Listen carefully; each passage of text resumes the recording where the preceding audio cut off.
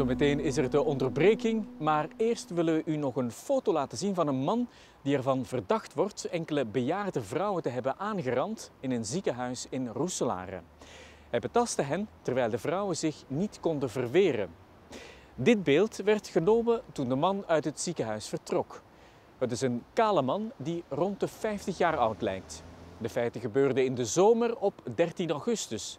De man droeg toen een blauwe polo en een blauwe short. Alle informatie is welkom via het onderstaande nummer of mailadres van de politie.